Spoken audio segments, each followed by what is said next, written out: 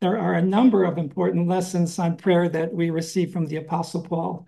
And I had never made that particular study, but in looking at his life and what he talked about prayer, I see a very deep, insightful apostle speaking in practical terms.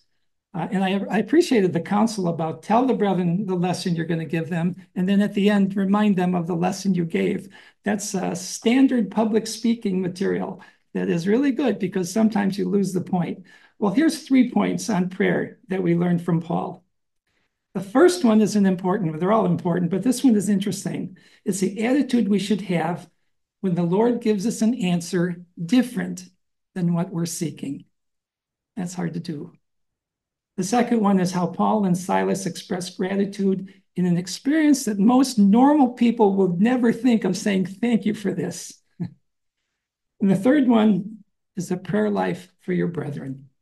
We look at the heartfelt prayer of the Apostle Paul for the Philippian brethren. Now, in looking at Paul's example of praying with the proper attitude, let's turn to Second Corinthians chapter 12. Now, there are differences of opinion on what Paul was praying for here, but I'm going to take the traditional view that Paul was praying to have his eyesight restored. But whatever you feel he was praying for, because he doesn't really say, but whatever you think, the principles remain the same that we learned from Paul. Now, if he was praying about his eyesight, then he undoubtedly felt that the gospel would be better served if he could see better, that if he could write and not have someone to help him with that. And I think we can understand that. I'm sure I would be hard pressed to give a discourse or write an article or be active if I couldn't see what I was doing. And so he saw a very natural reason why he needed to have that uh, capacity back. And he felt strongly enough about his handicap that he had petitioned God on three separate occasions to have it healed. But as we know, God saw things differently. This is 2 Corinthians chapter 12, verses 9 and 10. And he, that is God, said unto me, My grace is sufficient for thee, for my strength is made perfect in weakness. In other words, God said to Paul, Your weakness will not be taken away as you're requesting but through it, you will learn to lean on me and to look to me for guidance, and your ministry will not be hurt by that. Paul's amazing response. He said, Most gladly, therefore, will I rather glory in my infirmities, that the power of Christ may rest upon me. Therefore, I take pleasure in my infirmities, in reproaches, and necessities, and persecutions, and distresses for Christ's sake. For when I am weak, then I am strong. Oh my goodness. What a response. Wouldn't you love to have that response in your heart every time the Lord says, No, no, not what you're praying for. This is a better way. He says he could glory and take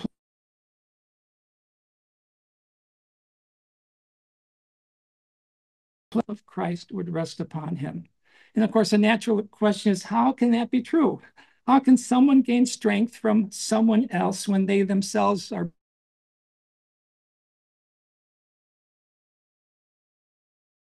made that possible is because he saw his experiences that he was doing for Christ's sake, knowing that he was suffering because he represented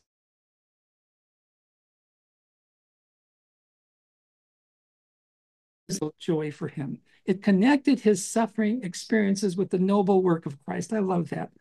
When Paul's poor eyesight made his ministry more difficult, but then he saw these amazing results of hearts of people listening to his message and were thrilled by that he could say to himself, This isn't because I'm so eloquent. It's the power of the message, it's the power of Christ that's doing this. I'm just privileged to be his mouthpiece for something far greater.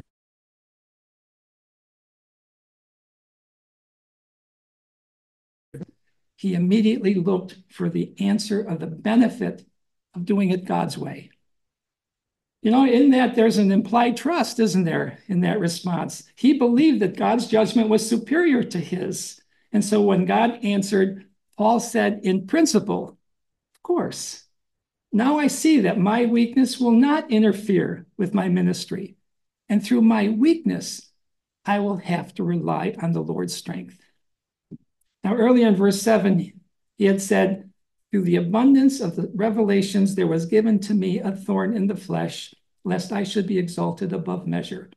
my goodness, again, there is tremendous faith and honesty, knowing that, okay, now I see that's what I need. All the things the Lord has given me to represent Him, there's a chance that that would have gone to my head and my flesh would be elevated. But now I understand that God said, don't do that. And here's going to be your reminder towards that. And so we see a strong connection between faith and Paul's integrity of character to be so honest with himself when accepting God's answer in a prayer that was different than he requested. Brethren, if and when that happens to any of us, it is imperative that we do what Paul did and look for the wisdom in God's answer. In fact, that may be another reason to pray. If he gives us an answer different, then we're not quite getting it. Why did the Lord answer this way? That's a reason for prayer. And I think the Lord is thrilled when we go back to him and say, But Lord, why? Why did you answer this way? Because it causes our mind to think on a different level than the humanity we live with. The point here is that afflictions and trials can teach us a, a essential lessons that prosperity often misses. Paul was so convinced of this principle that he could take pleasure in things that most people would never think of taking pleasure in. Second item, we see another powerful lesson on prayer during one of Paul's missionary journeys. In Acts 16, I'm sure you all know this story. It's a tremendous lesson. Paul and Silas were in Philippi, and as they were as they were on their way to the synagogue to pray, they were confronted by a woman possessed of a spirit. And when she came to Paul, Paul cast out the demon from her. And the men who profited from her fortune telling ability, they were enraged. And so they complained to the authorities. And as a result, Paul and Silas were beaten with many stripes. It says they were cast into the inner prison and their feet were put in stocks. This is what Acts 16, verses 25 and 26 say. It says, At midnight, Paul and Silas prayed and sang praises unto God. And the prisoners heard them. And suddenly there was a great earthquake, so that the foundations of the prison were shaken, and immediately all the doors were open, and everyone's bands were loosed. Everyone, not just Paul and Silas's. now, I doubt that's what Paul was praying for. When the prison guard saw what happened, of course, it says he was going to kill himself because he was afraid that the prisoners would all escape and he would be blamed for that. But as you know, that didn't happen. Paul calls out to him. He says, The prisoners are all here, even though their stocks are gone. And he then witnessed to the guard and to his whole family, and they were converted and baptized. What a turnaround of experiences, not just for Paul and Silas and the guards, but for this prison guard. But let's go back to the prayer while they were in prison. We're not told what they prayed about, but we're told that it was connection in connection with singing praises. So I'm going to speculate about what they might have been praying for. I think that in their prayer, they offered thanks for the privilege of suffering for Christ and with him. Now, look at the similarities of their experiences with that of the Lord's. They were beaten just as Jesus had been, and they were thrown into a dark prison just like Jesus. In both cases, undeserved suffering resulted from speaking the truth and doing good works. So Paul and Silas could literally identify their experience with the Lord. You know, brethren, when we can identify our physical or even our emotional suffering because we're serving the Lord, when our feet are tired because we've been serving all day at a fair, or we're doing some other service, understand the privilege of using our bodies to serve him, our response will naturally be more like Paul and Silas's we will find ourselves saying, Thank you, Lord. Thank you for the privilege of using this body in some way to honor you. And what's neat about this experience is that the other prisoners heard them singing. And you know, they had to be affected by what they heard. Who in their right mind would be singing while in that prison with their feet in stocks? Paul and Silas's mental perception made that prison cell not a place of suffering, but became a place of worship for them, much like Golgotha, where Jesus' suffering was, in a great sense, his place of worship. Much like Daniel, who was thrown in the den of lions, He could sleep calmly while the king in his palace tossed and turned. Every trying experience we have can do that for us and make our place of suffering a meaningful place of worship. The third example that Paul left us. When we look at Paul, besides the doctrinal teaching, we see a man who cared deeply for the brethren. And he prayed for them. And he wanted them to be spiritually strong and faithful, especially to the Philippian brethren. This is what he wrote to them in chapter 1. This is verses 1 through 11. He says, I thank my God in all my remembrance of you, always in every prayer of mine for you, all making my prayer with joy because of your partnership in the gospel from the first day until now. And I am sure of this, that he who began a good work in you will bring it to completion at the day of Jesus Christ. It is right for me to feel this way about you because I hold you in my heart, for you are all partakers with me of grace, both in my imprisonment and in the defense and confirmation of the gospel. For God is my record, how greatly I long after you, all in the bowels of Jesus Christ.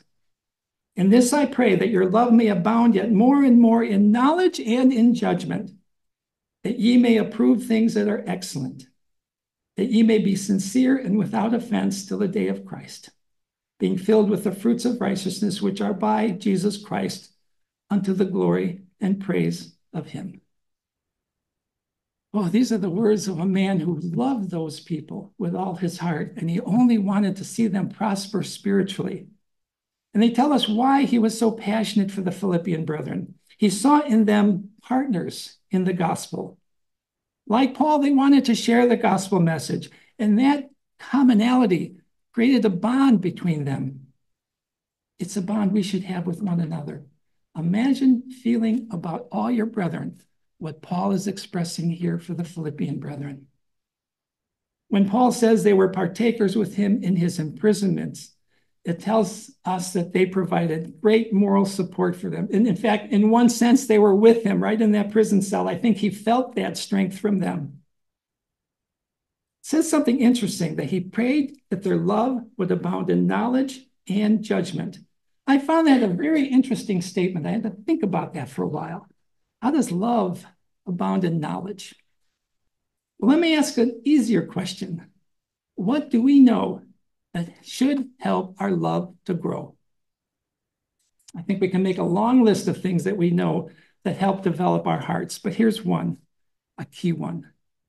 Our knowledge of what God has planned for us and for the world, a kingdom of righteousness, a life of joy that extends to all eternity, shows us a fundamental part of the character of God and of his Son. Without love, his plan probably would never have been devised and carried out. That foundation principle of love really establishes a model for us to strive for.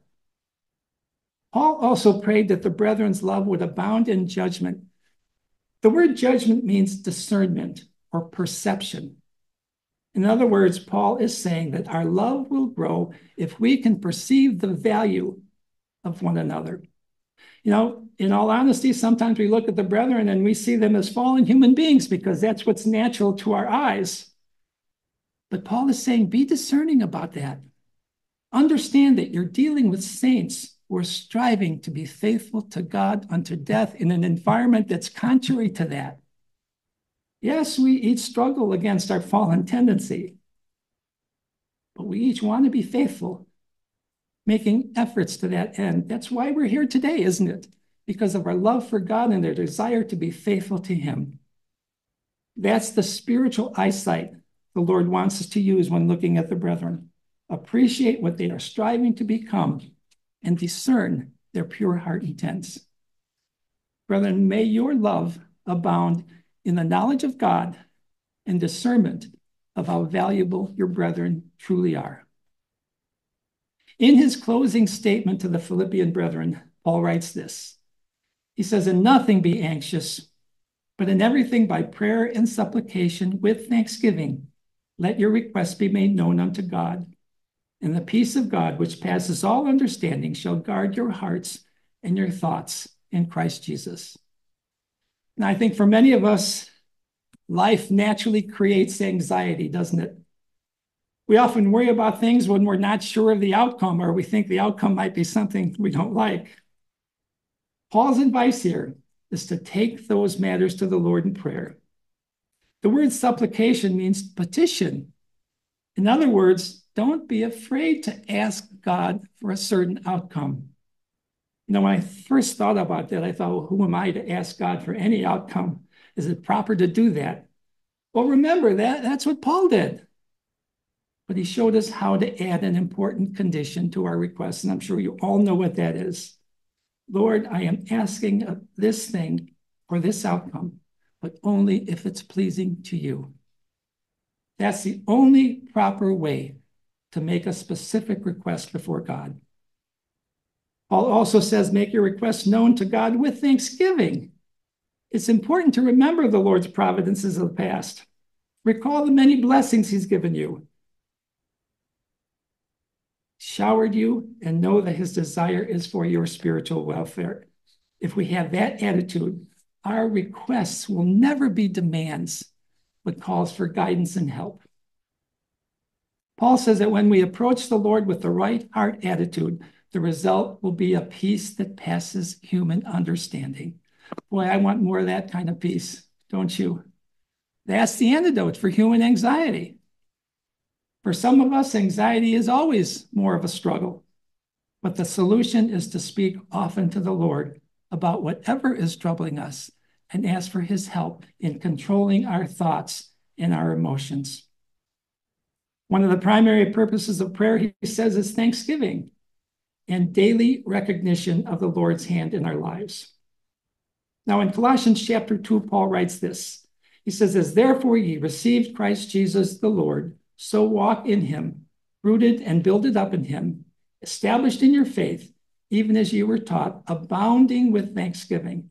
Now, he doesn't mention prayer here, but he does highlight the importance of this idea of abounding in thanksgiving, not just saying thank you once in a while.